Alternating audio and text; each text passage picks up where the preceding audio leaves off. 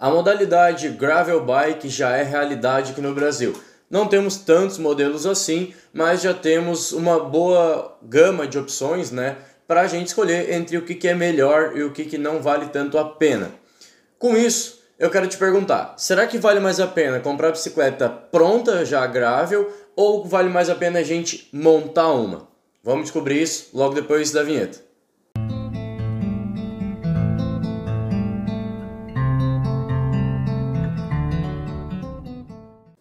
Senhoras e senhores, bem-vindos a mais um vídeo. Então, como eu fiz a pergunta no início para vocês, né, a gente vai tomar por base para conseguir encontrar essa resposta a Code Strat. Eu fiz um vídeo há um tempo atrás comparando as opções nacionais que a gente tem de gravel aqui no Brasil. O link, o vídeo, né, eu vou deixar aqui no card para vocês clicarem e assistirem, caso não tenha visto. E uma recapitulada básica aqui da Code, ela começa pela tua inscrição, claro, a gente já passou de 8.500 inscritos, logo logo os 10 mil estão chegando, vai ter novidade no canal. Eu ainda não tenho certeza de tudo que eu vou fazer, mas 10 mil inscritos é um número muito bacana, né? É um número grande aqui, significa que a nossa família Bike Mundo está cada vez maior e eu sou muito grato a ti por isso, porque sem tu esse canal realmente não seria nada. E como 10 mil é, são bastante inscritos, né? eu pretendo fazer algo para marcar essa, essa nossa conquista, né? Porque realmente é uma conquista minha e tua que está aí do outro lado me assistindo. No Instagram, bikemundo.junior, passando aqui embaixo, tu consegue conversar comigo de uma forma mais pessoal, tirar dúvidas, né? Assim como também nos comentários que estão sempre abertos para dúvidas, críticas, sugestões, enfim. Sintam-se à vontade para falar o que quiserem aqui conosco. Seguindo então, como eu disse, o que compõe a Code, ela custa R$ 4.500, ela tem o quadro de alumínio com movimento central BSA, ela vem também com garfo Code de alumínio, né, os componentes dela, mesa, guidon, canote, são da Code, os aros também são Code, com pneu Mitas Hook Classic 700 por 35C, 35C é o mínimo para grave hoje em dia, então ele é um pneu já que atende os padrões, mas não é tão robusto assim. É bom para um pedal mais urbano, para rodar em asfalto por não ser tão largo, porém está ali no mínimo desejável. É um pneu resistente, tem fita antifuro, então ele não vai furar tão fácil quanto os pneus 700 costumam furar. Pedal Eneco, né? As rodas, como eu comentei, são aro Strat com cubo TX505 e a transmissão é Shimano Claris 16 velocidades, 2 na frente, 8 atrás. Escolamento do cassete 12 por 32 e o pé de vela é 46,34. Então é sim com freio mecânico, obviamente, porque é uma bicicleta de entrada, né? E é isso. A bike que a gente vai montar então, ela vai começar, a gente vai tentar montar uma bicicleta nesse valor com umas características, né, com setup, com peças melhores. Então a gente vai tentar fazer um custo-benefício melhor do que a Code que venceu o custo-benefício do vídeo que eu deixei aqui no card. O quadro que a gente vai usar é da, é de gravel mesmo, da Absolute. Quem não sabe, a Absolute lançou um modelo de quadro gravel para nós brasileiros, ciclistas apaixonados por montar bicicleta. A Absolute atendeu a nossa demanda e fez um quadro de alta qualidade, muito bonito também, já específico para gravel. Então ele tem freio a disco, ele não é tapered, é over, mas enfim, e ele já vem com o garfo. Também tem cabeamento interno, a pintura dele tem um grafismo bem discreto, bem bacana, combina bem com essa pegada gravel. A mesa a gente vai usar também da Absolute, ela tem 100 milímetros de comprimento e tem uma angulação para te controlar. As fotos estão passando aqui, né? então vocês estão vendo detalhes do que eu estou falando. Uh, ela tem uma angulação tanto positiva quanto negativa para te ajustar conforme a tua, tua, tua preferência, né? o teu bike fit. Guidão eu vou usar um Vicinitec, ele é para gravel, ele tem 44 milímetros, uh, centímetros em cima e 50 centímetros embaixo, então ele tem um flare ali que embora não seja tão agressivo, é um flare bem bacana. Os preços não estão passando aqui embaixo porque tudo que eu estou falando aqui, todos os componentes utilizados estarão na descrição do vídeo. Então, Uh, vocês podem clicar aqui nos links para comparar, para acompanhar os preços, para comprar um componente ou outro. Se quiser comprar essa bicicleta inteira que eu estou montando aqui, podem comprar pela descrição aqui do vídeo. Falando em descrição, quase esqueci aqui, a Sense, né? A gente tem uma, uma oportunidade de uma parceria com a Sense. Isso é muito bacana.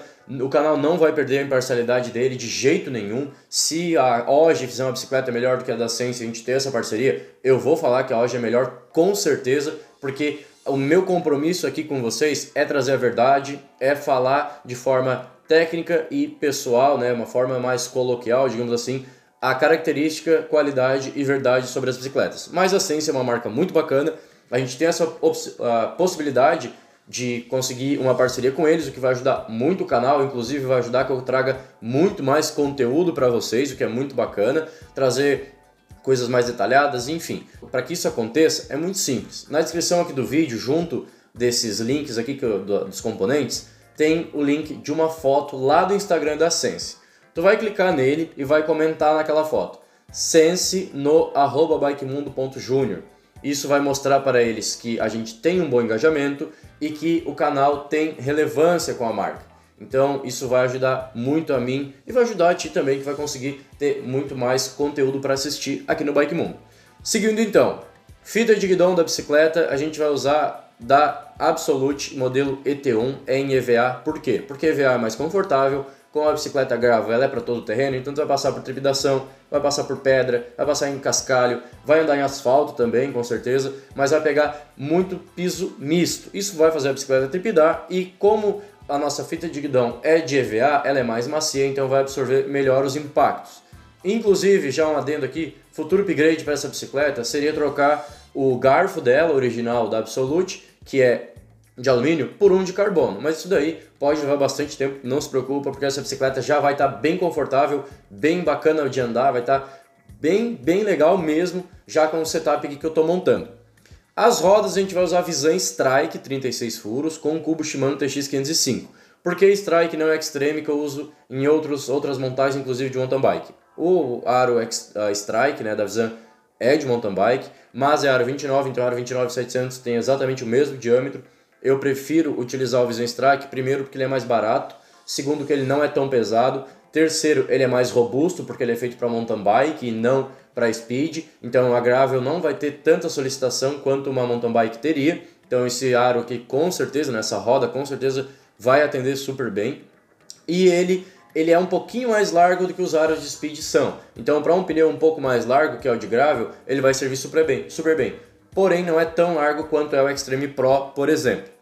Pé de vela, pé de vela Shimano Altos, ele é o MT210, que tem a coroa 36 na maior e 22 na menor. Se tu achar que ele tem muita redução, eu acho interessante ele ter um pouco mais de redução, porque como o gravel é um estilo mais geral, que tu pode usar, pedalar em qualquer terreno, talvez pegue uma subida mais forte e seja interessante ter uma bicicleta um pouco mais reduzida. Mas, dependendo do teu uso, se tu não quiser um, um pé de vela tão reduzido, tem, se eu não me engano, o MT300, que ele tem coroas maiores. Então fica a teu critério, mas esse pé de vela aqui integrado é muito bacana, muito bom. Pedal, eu trouxe um clipe, plataforma e clipe, né? Ele é um pedal misto, porque caso tu vá fazer trilha, é interessante tu usar o clipe. Se tu não tem muita confiança, tu pode, ah, hoje eu tô tranquilo, vou fazer um pedal mais de boa, eu vou usar sapatilha, vou clipar para mim ir treinando. Ah, é um pedal mais extremo, um pouco mais técnico, não tem confiança de conseguir soltar o pé ali a tempo, então vai de tênis, tranquilo, o pedal vai atender. Inclusive para ciclismo urbano, muita gente pedala de pedala clipado, mas eu aconselho uma coisa pessoal minha de tu andar de tênis, porque é mais fácil de tu tirar o pé mais rápido do tirar o pé da bicicleta em alguma emergência. Se alguém se atravessa na frente, um carro corta a tua frente, qualquer coisa do tipo, é mais prático tu estar tá de tênis do que de sapatilha. Uh, o banco que a gente vai usar, o Celine, é um Comfort Point da Calypso. Ele é um banco confortável porque mesmo esquema que eu comentei agora da fita de guidão. É uma bicicleta mais rígida, então em trepidação tu vai sentir se tu tiver um banco mais macio, mais confortável, tu vai se sair muito melhor nisso. Então, claro que é um banco um pouquinho mais pesado, mas é um banco que vale a pena sim colocar aqui. O canote desse banco, a gente vai usar o TSW Micro Ajuste, que ele tem os dois parafusos ali para fazer um ajuste fino. É um canote muito bom, muito resistente, leve e barato. Então, vai encaixar super bem no nosso setup aqui. Agora a gente vai sair do Mercado Livre e vai para o AliExpress. Por quê? Porque hoje em dia não só por causa do dólar e por causa da situação que a gente está passando, mas vocês sabem que o aumento, né, a, aliás, a procura por peças e por bicicletas cresceu muito, mais que dobrou nesse ano. Então, as empresas que não podem fabricar mais do que deveriam, uh, não conseguem entregar tudo para todo mundo. Então, eles acabam priorizando algumas marcas, porque tem contrato, enfim. Nós, o público de consumidor final, às vezes acaba ficando meio desprovido desses componentes. Isso faz o preço subir muito e para a gente escapar disso, conseguir montar um setup de acordo, a gente tem que ter outras alternativas como o AliExpress, que é super seguro, todos os links trazidos aqui são links de confiança, tu pode comprar sem problema algum, que eu tenho certeza que vai chegar na tua casa. E tem um jeito também de tu não ser taxado, quem ainda não viu o vídeo, compras no AliExpress, deixando aqui no, na, no card agora, segue os passos que eu falo ali, que eu ensino, que tu vai conseguir comprar todos os componentes que eu vou trazer aqui sem ser taxado e vai ser entregue tranquilo na tua casa, bem rápido. O pneu, pneu Kenda Alluvium Pro 700 por 40, então já é um dia uma largura de pneu bem bacana. Ele tem um desenho também que é tanto para asfalto quanto para piso de, de chão, né, estrada, de terra, lama, dá para pegar também, dá para pegar pedra, enfim, cascalho. Esse pneu vai sair muito bem. E ele é 40, é um pneu bem largo, mas esse quadro comporta. Se eu não me engano, ele comporta até 42. Então o 40 com certeza vai ser aceito sim. KMC, a corrente KMC Z9 para 9 velocidades, 116 elos. Vai dar bem certinho para o que a gente vai usar aqui, pé de VLK7, que falando nisso, é uma Shimano HG 9 Speed, obviamente, 1134. Então, vai dar uma velocidade final boa, o 36 por 11, e vai dar uma redução boa também, o 22 por 34. Caso, como eu já disse, tu acha que vai ficar muito leve, troca o pé de vela sem problema algum. Caso tu ache esse, esse cassete com um COG muito pequeno, tu pode usar um até 1140 com o câmbio que eu trouxe aqui, que é um Alívio M3100, é o modelo novo, o modelo desse ano do Alívio, 9 velocidades SGS. Como ele é o SGS, ele alcança até COG de 40 dentes. Vai ficar um pouquinho justo com 40, te sugiro até no máximo 36, mas o 40 vai funcionar assim. Só leva daí no mecânico de confiança para ele conseguir ajustar. O nosso câmbio dianteiro é um Shimano Sora R3000 duas velocidades. Aí tá te perguntando, né? Por que, que eu uso o alívio na traseira, que é de mountain bike, e uso um Sora de speed na dianteira? O câmbio traseiro, tu vai passar por estrada mais acidentada, cascalho, pedra, etc., o câmbio vai chacoalhar bastante. Ele vai pegar lama também, vai pegar terra, vai pegar várias coisas nesse câmbio que o câmbio de speed não foi projetado para sentir, para sofrer esse, esse uso, né, esse esforço. Já o alívio é um câmbio de mountain bike. Então, se ele é o melhor câmbio de entrada para o mountain bike e atende muito bem, é um câmbio excelente, imagine então numa gravel que não vai solicitar tanto assim. É mais ou menos isso. Tu vai ter um câmbio com resistência de sobra, o que é bom, porque ele também não é caro. Já na frente, o câmbio dianteiro, ele não vai trepidar, ele não vai pular, não vai ficar batendo corrente, etc. Então, ele pode sim ser um Sora, que também é mais leve do que os mountain bike, e ele funciona super bem. Então, claro, talvez valha a pena para ti, se tu quer uma grava para usar praticamente em estrada de chão com lama, vale mais a pena trocar esse câmbio dianteiro por um Altos ou um Alívio ou até mesmo um Turn de duas velocidades, caso tenha, né?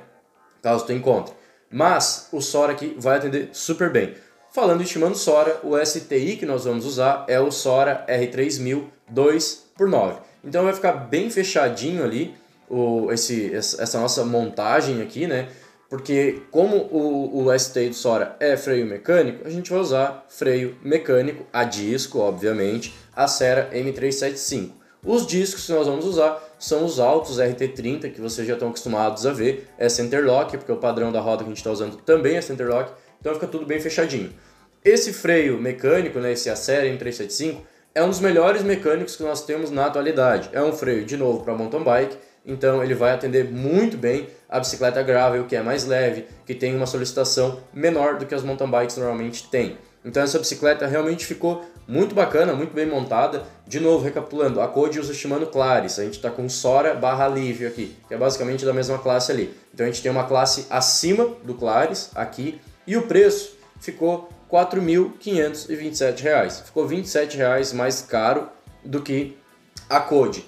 Ela é basicamente questão de quadro, é bem semelhante. A Code tem um quadro excelente, esse quadro Absolute é excelente também, se tratando de gravel de entrada, né? Claro que existem gravel, gravel bike bem mais bacanas do que essas aqui, mas se tratando de uma bicicleta para te começar, para te ter uma bike com custo bacana e componentes muito bons, essa Absolute que eu montei ficou muito mais interessante do que a Code, que já era muito interessante. Então é uma bicicleta ideal aqui para ti que de repente não quer ter uma mountain bike, quer uma bike para uso urbano, que daqui a pouco tu vai querer sair em estradão e tal, não quer um pneu que fure muito fácil, tá aí a bike ideal para ti. Absolute com esses componentes, todos os links, como eu já disse aqui embaixo na descrição, vai comprando por lá, vai montando, que eu tenho certeza que vai te atender super bem.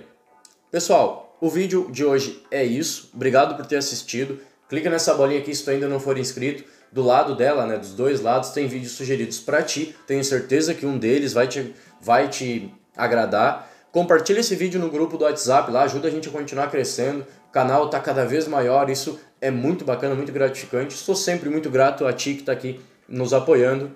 Até o próximo vídeo e tchau, tchau.